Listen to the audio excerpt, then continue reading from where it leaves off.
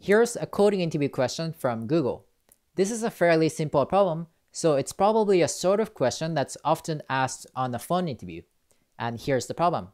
You're given a string and you're supposed to write a function that takes that string and returns the first recurring character in that string. So for example, if you're given this string as the input, ABCA, there's only one recurring character in the string A, so your function should return A. If you're given this string, BCABA, you see that there are two recurring characters, B and A, and the first recurring character is B, so you should return B from your function. If you're given this string ABC, there is no recurring character in this string, so your function should return either null or none, depending on the language that you're using. Now for practice, I'd recommend that you pause the video right here, think about it for a second, and then come back to the video. Now, when you're given this problem, initially you may come up with a naive solution like this one. In our naive solution, we're going to first check the first character in the given string. For example, this string on the screen. The first character in the string is D, and we're going to ask ourselves, is there another occurrence of the same character D in the subsequent characters? We can check this character by character, and the answer is no, there's no other occurrence of D, so we can move on to the next character, B. And then we can go through the same process. Ask ourselves, is there another occurrence of B in the subsequent characters? Check that character by character. And once we get to this other occurrence of B, we'll know that B is the first recurring character in the string. So we can just return B from our function and we're done. With this naive solution, we're essentially checking every potential pair of characters in the string to see if there's any recurring character. And so the number of pairs we need to check with this naive solution would be n choose 2 or n times n minus 1 divided by 2, which is equal to big O of n squared. And so the time complexity or the runtime for this algorithm would be big O of n squared. Let's see if we can do any better than that. And here's a more efficient solution to this problem. Instead of checking every potential pair of characters, we're going to go through this string only once from left to right, character by character. And as we see a character, we're going to store it in a data structure such as a set, a dictionary, or a hash table to show that we've seen this character already. So for example, when we're examining the first character, D, we're going to store it, eh, let's say, in a hash table. And in a hash table, we need a key value pair. So we're going to use the character as the key. And the value could be anything, but let's just use 1 here to show that we've seen this character once.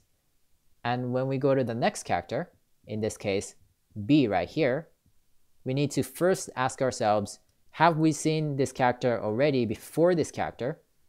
And we can do that with this hash table. And the answer is no, because B is not in this hash table yet.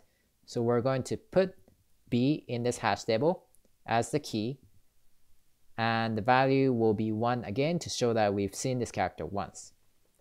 We'll keep going like that until we get to a character that we've seen already, which is the second occurrence of B right here in this case.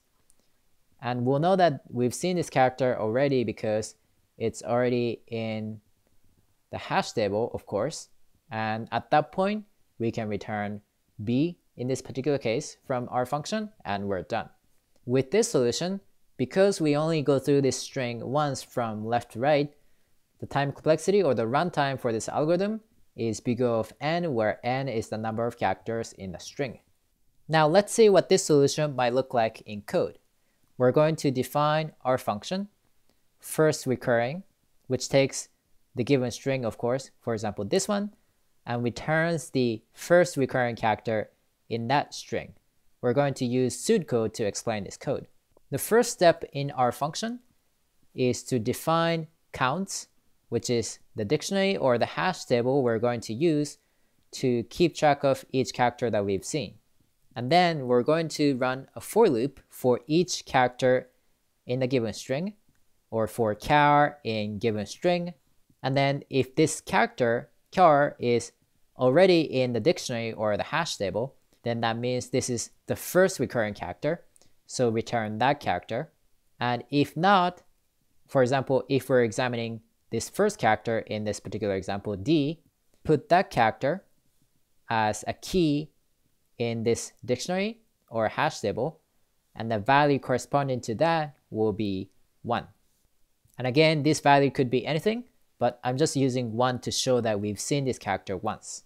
And here, you might notice that I'm not using an else statement here, but that's just a style issue, so you could use it if you'd like to. Now, after this for loop, if we haven't returned yet, that means that there is no recurring character in the string. So in that case, either return none or null, depending on the language. And that's my solution.